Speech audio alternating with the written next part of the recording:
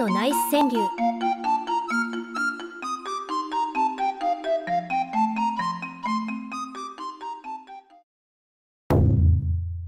こっそりがさらに美味しくなる秘訣。お題こっそり花うららさん。たっぷりと油絞られても痩せず。お題たっぷり白玉さん。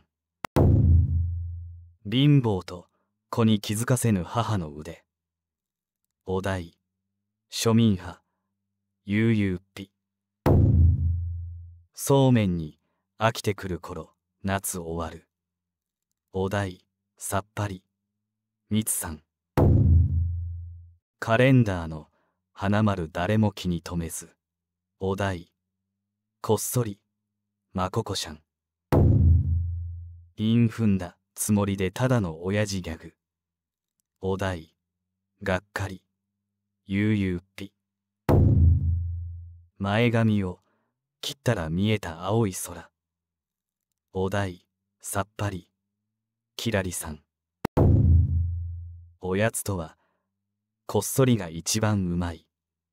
お題こっそり悠々っぴ。豚骨のいいだし取れそう入浴中。お題豚骨。キリキリ舞よ。痩せたねと言われて寂し歯茎なり。お題。歯茎。433対決だ。消臭剤と息子の靴。